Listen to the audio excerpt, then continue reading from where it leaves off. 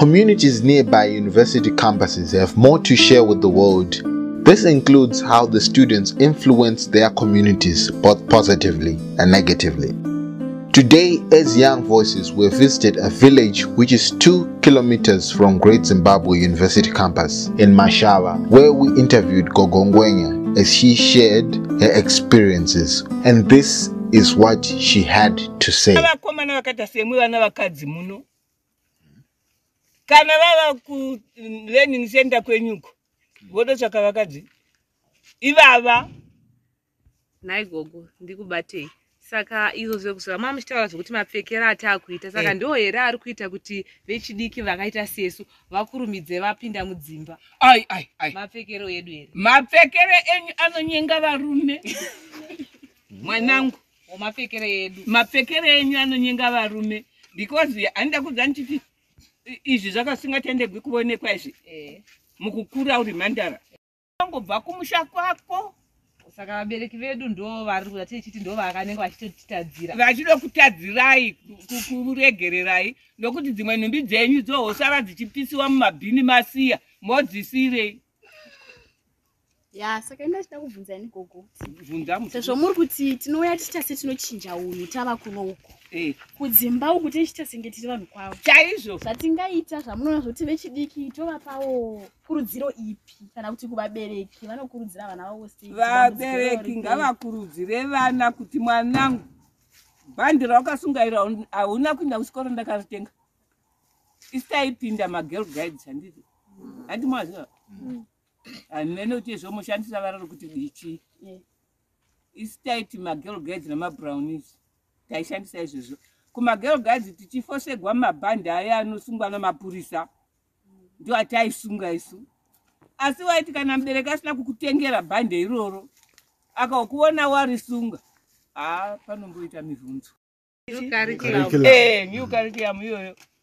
Isu hedu takati neold curriculum iyoyo. Zvaiti izvi zvevanhukadzi ini zvangu hazvichanyadzisi kutaridza vazukuru muri vazukuru mose mupano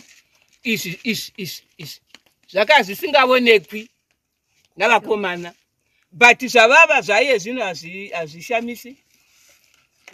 chero kudai kana ndezviya zvamunopinda nazvo mukudhidha here zvakakujaidzai kuti munopinda makashama wose makangovhara I- ndizvozvo.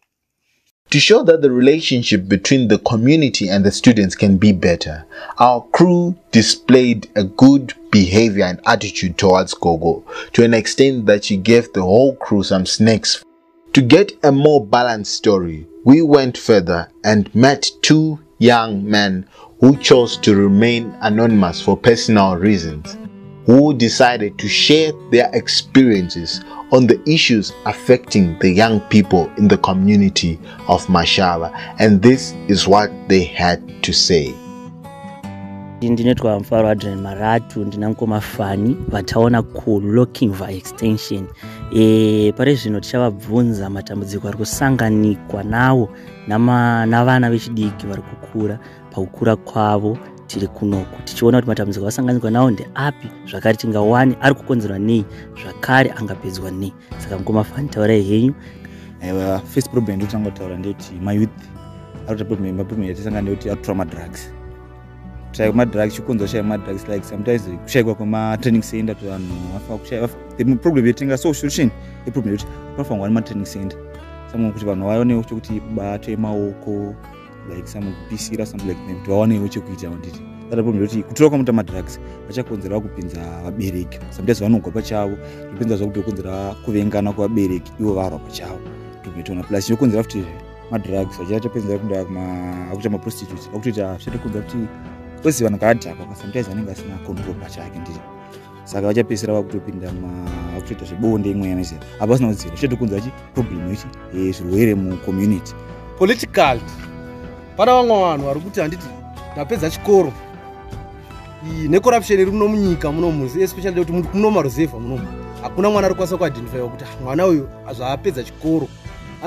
Ari kushayiwa mari vabereki havana mari titi hurumende tikwanise kutibetsera kuti titi titorewo mwana emuti rega timupewo kana rudetsero rwokuinda hazvisi kuwanikwa izvo zviri kuwanikwa kure kumatauni andoruzisa madrugs agara anototogwa navanhu munharaunda because example yenzvimbo yatotogona kutokuudza ninyesa madrugs patakatanga kuziva madrugs akaita sana bronkle ibere because vamwe vane hama dzinoona diaspora vamwe vanhu vanoenda kusouth africa vanonodzidza zvona guka mutoriro uya.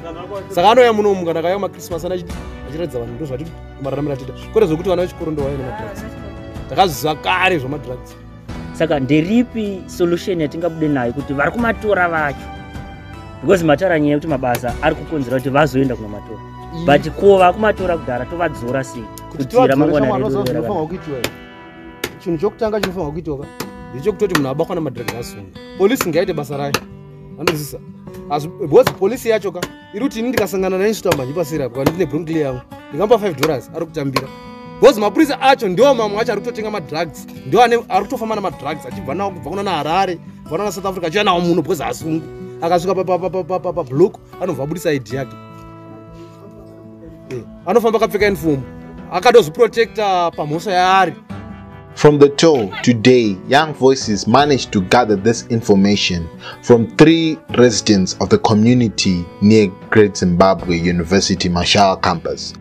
For me, Simbaresh Nyawa and the crew behind the scenes, it's goodbye for now.